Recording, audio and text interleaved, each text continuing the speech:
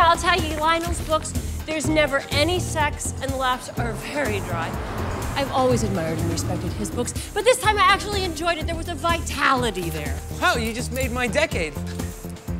Yeah, right. Well, hey, how's your latest tome coming along? It's, it's great. I may even finish it today. Huh. Oh, really?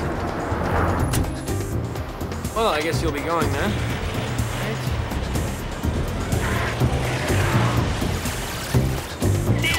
Danny, what? Okay, okay, okay. Donnie Blitzer kicked off his thick-soled shoes and showed. No, no, no, no, no. Hang on. Donnie Blitzer shed his leather motorcycle jacket, the all the nonconformists were wearing, and flopped down on the sofa. He scooped up two novels. Hmm. So, Patrick. So, Jackie. So, what are you doing with an old broad like me, huh? I mean, how come you don't have a girlfriend from like school or work or something? Oh, it's not like I'm a misanthrope or something. I mean, I like most people. It's just there's very few with whom I feel connected. But I always felt that connection with you. Oh, really? Mm-hmm. Mm-hmm. Really. I felt it from the moment I first picked up one of your books. After two pages, after two paragraphs, even. And now. Well. Now I feel it all over. In my brain, in my gut, my magic Johnson.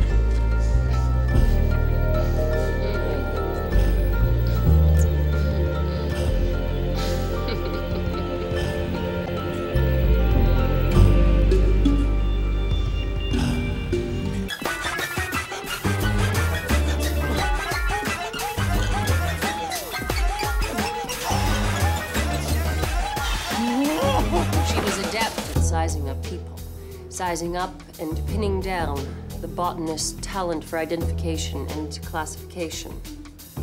But she couldn't pin him down. He was indistinct, like a in the night, his general sense. But the details, Oh.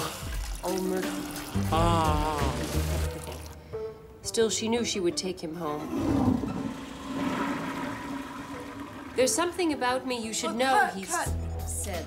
Is someone upstairs? No. It's just, um, you know, I had a moment of clarity tonight in that sea of youthful humanity, and I realized that, you know, maybe this whole thing isn't uh, such a good idea. You gonna let a couple of ditzy titsy run your life? No, it's not just that. mu- I mean, your gal pal was stupid enough to say something. Everyone else is just thinking. Who cares? I care. I'm gonna be 40 in a couple of days. So what? So? I mean, someday I might have to meet your mother My problem. or your father. His problem. I just, I, I just think we should uh, stop this before we become too uh, Embroiled. embroiled. Right? Listen, if. No. So that's it. No, you know, you know, we could be friends. Friends. The fact of the matter is that bitterness and revenge don't inspire anything of worth. I've been uh, paralyzed for over a year, blocked, you know. The book is non existent, a complete bust. Holy shit!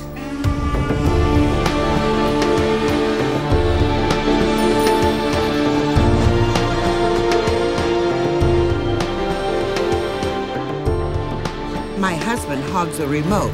This way I can control it. Ladies and gentlemen, my friend, Jackie York.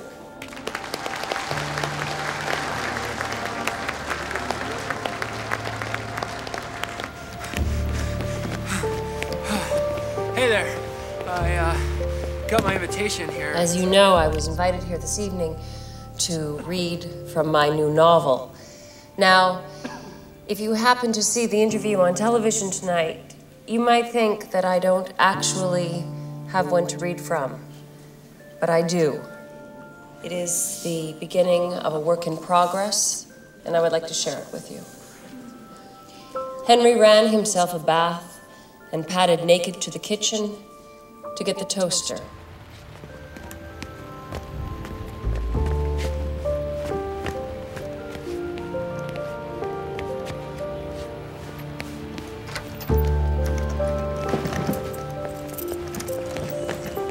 Henry was depressed, depressed and in love.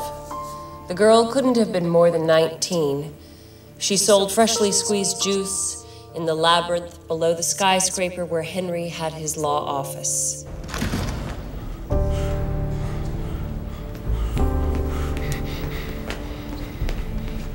Excuse me. Yeah. Excuse me. All day long, she stood in a giant fiberglass orange underneath the ground. Henry would descend twice, sometimes thrice a day, and they would chat while she prepared his drink.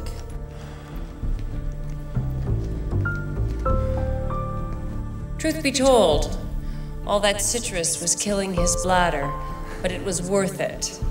Her eyes were big and sad.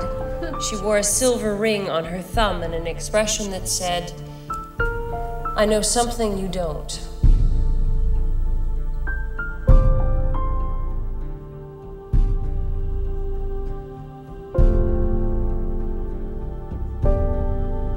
He knew that if he asked, she would probably go out with him.